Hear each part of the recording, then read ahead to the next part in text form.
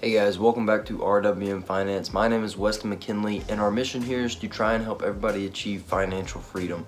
So today's topic is how to retire with $1 million. I know that everybody wants to have a million dollars and in this video I'm going to tell you um, how to retire with a million dollars and you really don't even have to work for it. So you do have to save up money each month and how much you have to save is based on the time that you start. So if you start early, you're gonna have to you don't have to save up as much. If you start later, you're gonna have to save up more. So we're talking about retiring at the age of 65 because that is the average age that people retire at. So in order to retire with $1 million at the age of 65, here is how much you would need to start saving each month in order to do that. This would assume that you not only saved your money, but you invested it, and if and and you invested it in something that is going to give you an average return of seven percent. So I'm not going to try and make you guess on where to put your money in for you to get a return of seven percent or better, but you invest in the S&P 500. That that's plain and simple. An index fund that mirrors the S&P 500 or an ETF that mirrors the S&P 500. Both have returns of uh, that average around seven to eight percent. So I mean, I'm not trying to hide anything from you. I'm giving it to you all for free. So I mean, literally, you know, I'm just gonna tell you the numbers, and you know, we're gonna get to it. So. Uh, here are the numbers for each age, how much money you're going to have to save up each month. At the age of 20, you need to start investing $269 per month in order to retire with $1 million. At the age of 25, it jumps up to $385 per month. At the age of 30, it jumps up to $555 per month. At the age of 35, $812 per month. At the age of 40, $1,213 per month. At the age of 45, $1,871 per month and at the age of 50 you need to invest $3,052 per month in order to retire with $1 million at the age of 65.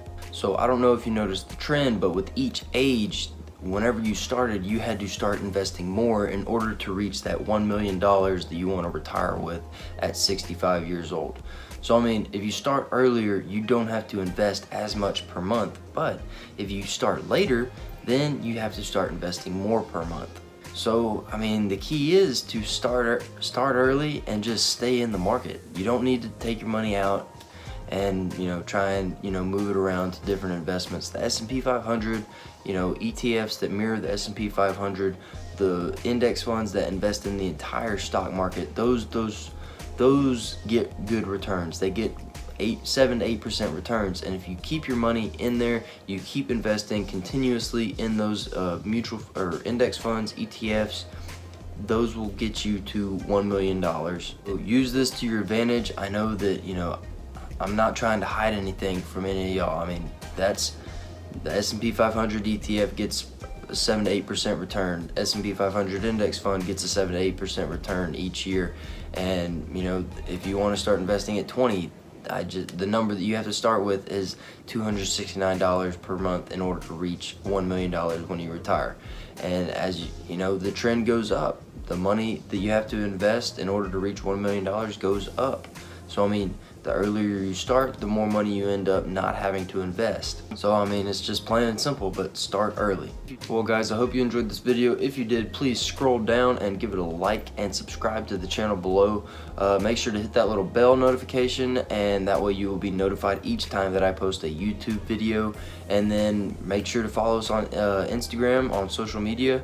Uh, the ad should be uh, popping up right up there. Uh, I post daily finance tips, kind of motivation stuff stuff, you know, something to kind of get you started. You know, any I, I post a bunch of stuff on uh, RWM Finance uh, Instagram page, so give us a follow, check it out. Make sure to check out the list of books below. There's some really good ones down there that talk, you know, about investing in index funds and investing early and, you know, the returns that you get. So check out some of those. I know the money, uh, uh, Unshakeable, uh, The Intelligent Investor, they all talk about investing in index funds and uh, you know getting good returns on them. So check those out. And then uh, remember that I post videos every Monday, Wednesday, and Friday. So make sure to tune back into the next one. As always, thank y'all for watching, and I will see y'all in the next video.